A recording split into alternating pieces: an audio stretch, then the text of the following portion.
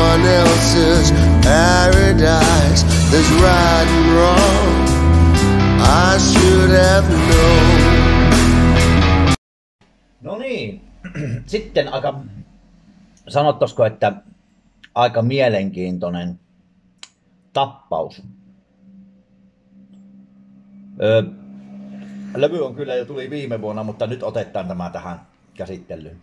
Bändin nimi on Steelborn, Steelborn Burn, perustettu 2020 Denmarkissa, eli Tanskassa, power metallia, lyrikat on fantasia metallityyppisiä.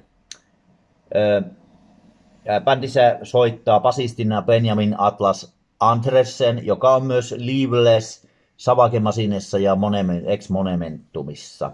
Jakob Rudeldal Bruun, kitaristi ja rumpali, soittanut Predators Roseissa ja Savake Masinessa ja Monumentumissa. Troel Rasmussen, vokaalisti, soittanut eh, Savake Masinessa, Monumentumissa ja Wittit Heitissä. Joo, kyseisestä, kyseisestä bändistä en ole ennen kuullut mitään, mutta voin sanoa, että kun tämä Steelborn, joka on vaan tehnyt yhden levyn, tämän Old, Old, Old Tales of ei kun, ah, te, tal, Tale as Old as Time on levyn nimi. Ja tuota, sanottaisiko niin, että ei, tuota, tuota, sano, sano, ja sanonkin, näin nopeasti minä luettelen tämän ja sitten rupean vähän kertomaan tästä bändistä enemmän nimittäin. Levyhän on niin kuin tosissaan sanon Steelborn Tanskasta A Tale as Old as Time ja tota, levy on pituudeltaan 36 minuuttia 7 biisiä. Ensimmäinen biisi on By the Way, The Serpent, toinen A Tale as Old as Time, kolmas Defiler, neljäs King of the Kings, vitonen Dear God, uh, kutonen Regium for, from Whose Apple Die ja seiska Inferno. No siinä se. Mutta nyt sitten lähdetään tähän Assisseen. Mitä tästä niin tuleman piti. Uh, tanskalainen power metal yhtye Steelborn on tota, alun perin kai ollut jonkunlainen sivustudioprojekti, joka suunniteltiin viimeistelemään Trion edellinen bändi oli Savake Masinen julkaisematonta materiaalia, joka on sitten niin kuin haudattu pois. Steelborn kunnioittaa vanhan ajan legendoja, eli heidän musiikissaan on hyvin syvästi inspiroinut metallilegendoista, kuten Judas Priest, Iron Maiden, Dio ja Accept. Ja kun se, ne yhdistävät Judas Priestin nämä etceterat nykyaikaista musiikista sitten modernisemmaksi modernisesta, klassisesta hevistä moderniseen heviin. Eli siinä on nykyaikaisuutta ja sitten tota, sitä klassista. Ja, ja tota, sitten jos mietitään, niin bändiä tota,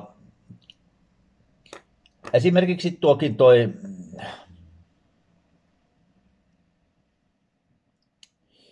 varsinkin toi The Way with the, uh, by the Way the Serpent,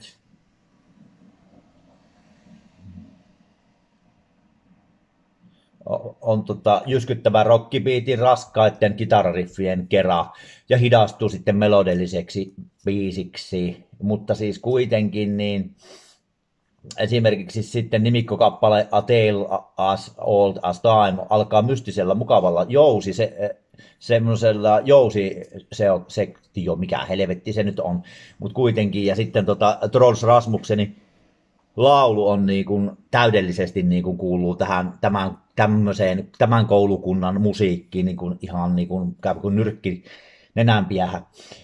Näin sanotusti. Ja sitten jos tämä äh, täydellisyydestä niin kuin sanotaan, niin tota, räjähdysmäisen äh, musiikin, musiikin soittajat osaavat niin kuin täysin, niin kuin esimerkiksi Defiler riffeillä on raivossa semmoista hyvää tiukkaa laulua ja semmoista yhteys, semmoista todellista yhteislaulua, sitten basso korostuu sieltä hyvinkin, hyvinkin paljon. Sitten, niin kuin miettii, niin kuin King of the Kings antaa sitten semmoisen rauhoittavan, heng, semmoisen hengähdystauon, semmoinen akuusti, akustisen version niin kuin, ja tota, laulukierroksen, ja siinä on tota, hyvin, hyvin paljon niin kuin, semmoista uskonnollista meininkiä.